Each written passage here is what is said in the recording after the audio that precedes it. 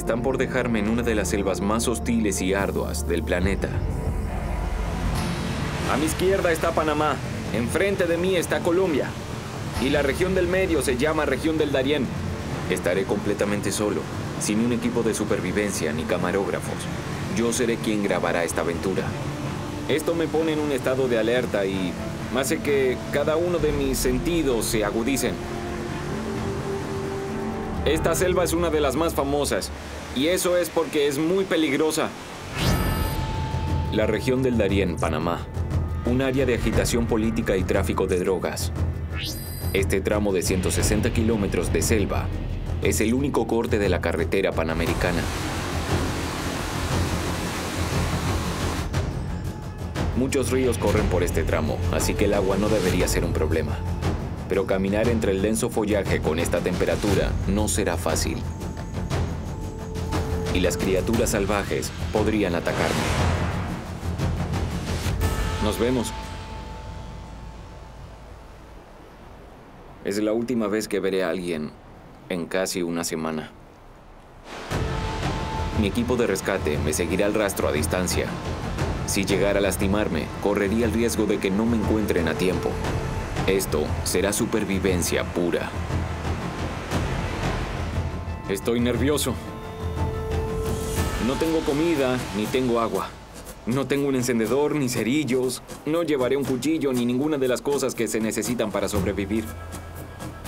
Todo lo que llevo es un trípode, un kit de primeros auxilios, también un equipo de varias cámaras y un dron. Eso me permitirá grabar esta aventura como nunca antes lo hice.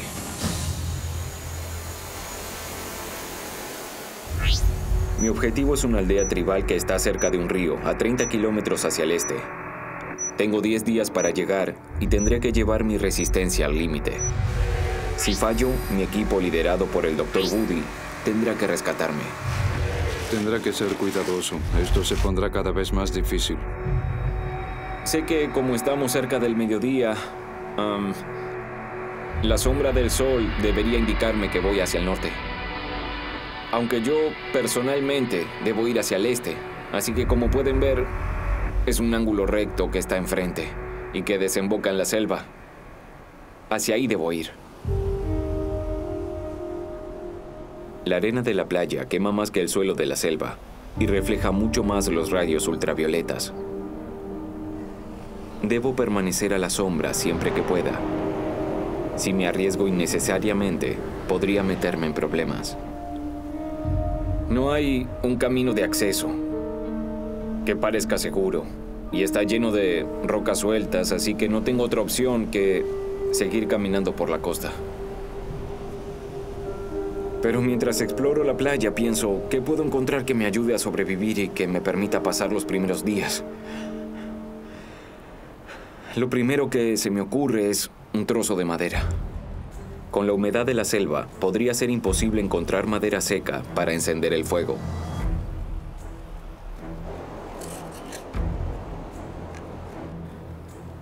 Esta madera es realmente buena, así que tomaré algunas que me servirán para hacer la fogata. Por experiencia sé que la corteza del cocotero es muy seca.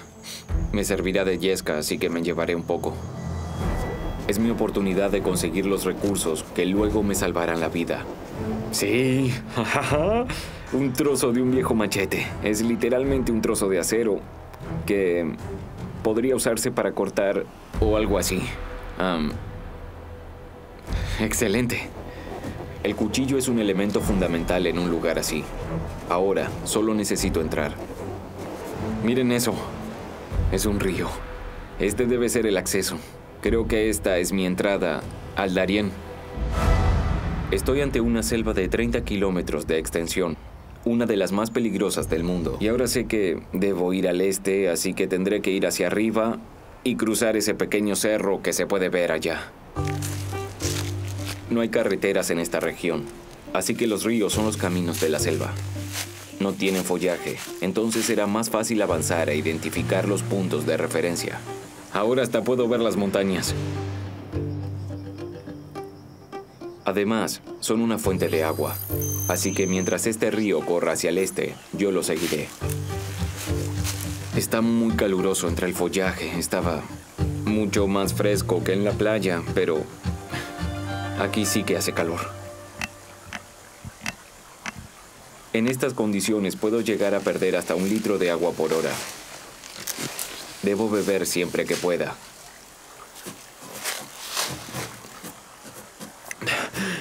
De verdad, es muy limpia. Bebo todo lo que puedo. No tengo forma de saber si esta agua es salubre, pero me arriesgaré. Ah, esta agua es perfecta. Y mi táctica por el momento seguirá seguir el río hasta donde pueda, porque esto es muy valioso, muy valioso. Y cada vez que cruce el río, intentaré beber una buena cantidad. Deben ser las 3 de la tarde, y hace horas que camino hacia el este. El sol se pone al oeste, así que tengo que evitarlo. El sol se asoma entre los árboles, y a medida que pasa la tarde tengo que adaptarme a la forma en la que el sol se va hacia atrás, como si estuviera escondiéndose detrás de mí.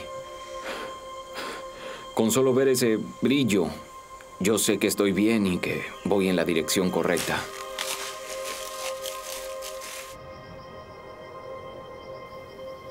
Bueno, estoy subiendo bastante ahora. estoy alejándome más del mar y la pendiente es más pronunciada. Durante el día, la temperatura en el Darién puede llegar a los 35 grados. Aunque esté junto al río, es muy duro. Para evitar sufrir un golpe de calor, debo descansar por lo que queda del día. Empiezo a sentir más la pendiente. Hace calor y yo quisiera seguir avanzando. Cuando refresque por la mañana. Antes de descansar, tengo que llamar a mi compañero Woody. Debe estar algo preocupado. Voy a acampar por aquí. Todo está bien, cambio. Entendido. ¿Y cómo te fue hasta ahora? Estuvo bien. Bebí agua, así que estoy hidratado. Estoy listo para seguir. Cambio. De acuerdo. No te diré lo que puedes comer, ya sabes todo eso. Hace mucho calor y los escorpiones estarán muy, muy activos. Ya hemos tenido un accidente con un escorpión en el equipo, así que tengo que ah, recordártelo. Tú debes cuidarte mucho, Ed. Ok, gracias, Woody. Adiós. Ahora quiero buscar un lugar donde pueda dormir esta noche. En muchos casos, los animales más peligrosos son los nocturnos, así que se recomienda alejarse del suelo. Pero ya está anocheciendo y yo tengo poco tiempo. Si logro instalarme cerca del río, estaría alejándome del resto de la selva y eso me daría más seguridad para dormir en la noche.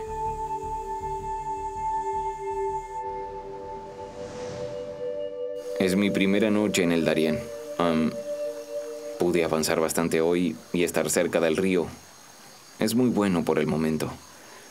No tengo ningún recipiente para llevar agua, entonces yo estoy bebiendo del río todo el tiempo. Por ahora funciona, está funcionando bien. Ok, creo que ya es hora de ir a acostarme y dormir.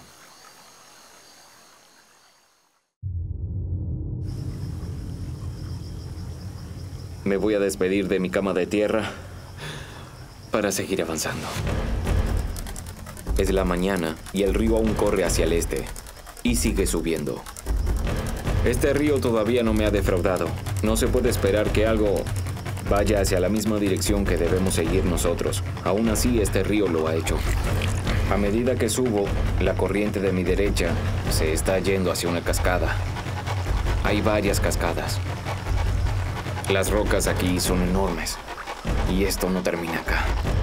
Puedo ver que hay un muro gigante. Oh, Miren eso. Seguramente eso mida unos 8 metros. No puedo escalar esa pared que rodea la cascada. Es una cascada bastante alta y tendré que intentar por los costados. Por ese lado tal vez. El follaje en general es mucho más oscuro cuando te adentras. Espero que sea este el cerro que veía desde la playa. A medida que subo, el camino natural de la selva me aleja cada vez más del río. Cuanto más densa es la vegetación, más difícil es mantenerse orientado.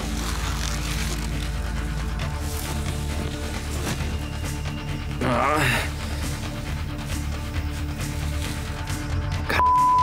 ¿Dónde está el sol? Si no veo el sol, no puedo avanzar bien. Y lo peor de todo es que subí tanto que ya no puedo escuchar el sonido del río. El problema que tengo ahora es que decidí que iba a subir por esta parte que está acá. Pero esta pendiente sube y no veo que vaya a bajar. Elegí una ruta que se aleja demasiado del río, entonces... Ahora no tengo más agua.